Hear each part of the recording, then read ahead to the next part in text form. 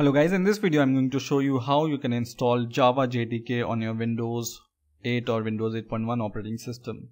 So just open your favorite browser and search for Java JDK and press enter and the first link most probably which will appear here will be from uh, oracle.com for Java. Just click this link and uh, then you just need to agree and proceed and in here you can see uh, two options. One is java download and second option is netbeans ide which we don't want. Okay? So just click this option which says java. And in here you can see uh, many options for uh, installing java on different operating system. So we want to install java on our windows operating system which is 64 bit operating system so just click this uh, link which says uh, Windows x64. If you have 32-bit uh, Windows operating system, you need to choose this x86 option. Okay, so in my case, I will choose 64 because I have 64-bit operating system. But first of all, you need to agree with this license and condition. So you need to check accept license agreement and then you can uh, install Java. So once uh, this executable file is downloaded, we can start installing this uh, Java JDK on our Windows operating system. So now our executable file is downloaded. So we are going to uh, start installing it by clicking this executable file and it will uh, start the Java setup for us. And I will minimize my uh, browser and uh, it will start this Java SE development kit update. So just click next here and just leave everything as default. Click next.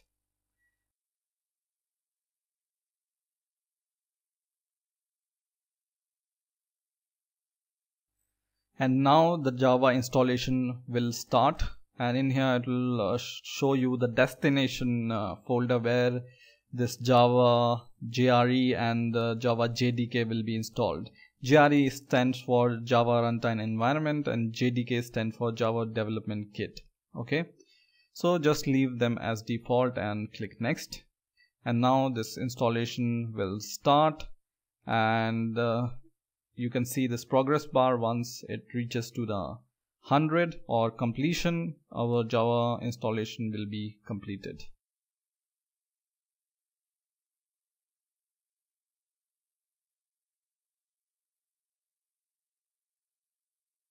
So now we can see that Java is successfully installed.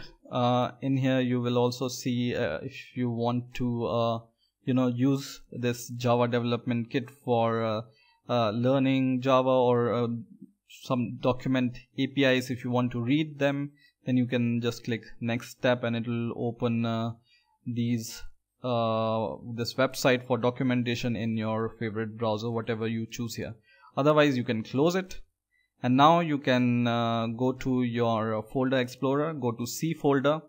And in here go to program files. And in here you will be able to see this uh, Java folder. And where you will be able to see uh, this uh, JDK folder and JRE folder. Okay? So now we want to uh, set the environment variable so that uh, our uh, Java will be recognized whenever some program want to uh, execute some Java uh, application. Okay. So what we need to do is for simplicity, I'm going to change the name of uh, this uh, folder as, uh, so I will rename it as just JDK. And for JRE folder, I will do the same. I will rename it as JRE. Okay now what we need to do is we need to go to the system. So search for uh, system in your windows uh, 8 operating system. And in here go to advanced settings. And in here we need to click this option called environment variables. Okay? And in the environment variable there is a category called system variable. And in system variable you just need to uh, search for uh, this variable called path and click edit. And in here so many paths you will be able to see. So you may not uh, want to uh, you know disturb any path but you just need to go at the last and give a semicolon here. And then what you need to do is you need to go inside this uh, JDK folder and inside this JDK folder go inside bin folder. And here all the Java related executable files are here.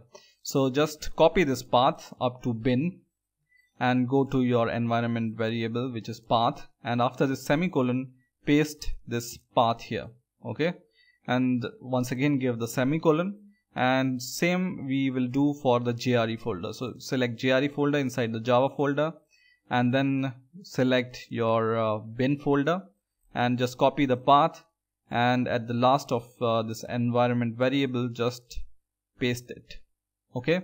And now you don't need to give any semicolon I think. Okay? You just need to click OK and click OK. Okay? So this will uh, set your environment variables. Now in some cases you may also need to uh, set your java home environment variable. And how we can uh, set this java home environment variable is once again uh, go to the systems and go here in the environment variable. And in here we can uh, create a new environment variable. So go to a user variable for programming knowledge which is the computer name and click here new. And in here in the in variable name enter a name like this java underscore home. And in the capital letters you need to enter this okay so java underscore home. And then what you need to do is you need to give the path of your uh, jdk folder in here. So just go to your java folder and in here go to your jdk folder. And you don't need to go more inside in the binary. You you just need to go to java slash jdk and copy this path and paste it here. So this path is c colon slash program file slash java slash jdk. Okay? And click ok. And it will set this uh, java home as your environment variable. Click ok and click ok. Okay? So once uh, you have done all this you can check whether java is installed in your system or not by just opening your command prompt. So right click on your uh, start button here and start your uh, command prompt and in here just give the command called java c and press enter and if you see all uh, these output then it means that Java is uh, properly installed in your system and you can develop Java in your system. Java C is the Java compilation command so you need to give the Java file name along with it to compile Java programs. Okay. So in this way you can uh, download and install Java on your Windows operating system. I hope you enjoyed this video. Please rate, comment and subscribe and bye for now.